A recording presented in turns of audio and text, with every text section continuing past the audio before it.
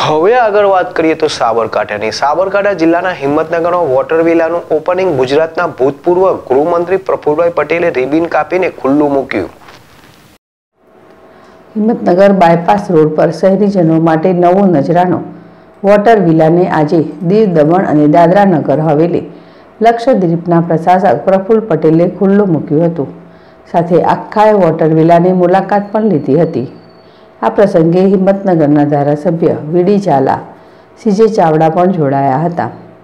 આ અંગેની વાત એવી છે કે Himmatnagar RTO bypass road, toll નાકા પાસે હાઈવેને અડીને વીસ એકરથી વધુ જમીનમાં આકાર પામેલ વોટર વિલામાં, જેમાં વોટર રાઇડ છે, તે વોટર વિલાનું શુક્રવારે દીવ, દમણ અને દાદરા નગર હવેલી લક્ષદ્વીપના પ્રશાસક પ્રફુલ્લ પટેલે ખુલ્લું મૂક્યું હતું. હિંમતનગરના શહેરીજનો માટે આ એક જરૂરી નવું નજરાણું છે. આગામી દિવસોમાં આજુબાજુના જિલ્લામાંથી પણ અહીંયા લોકો આવશે. આ પ્રસંગે તેમણે સ્વચ્છતા પર વધુ ભાર મૂક્યો હતો.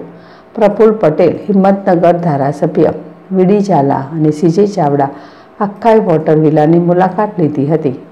હિંમતનગરમાં વોટર વિલાનું ઉદ્ઘાટન ગુજરાત ભૂતપૂર્વ ગૃહમંત્રી પ્રફુલભાઈ પટેલે રિબિન કાપીને ખુલ્લો મૂક્યો. જીલ રાવલ છે સાબરકાંઠા.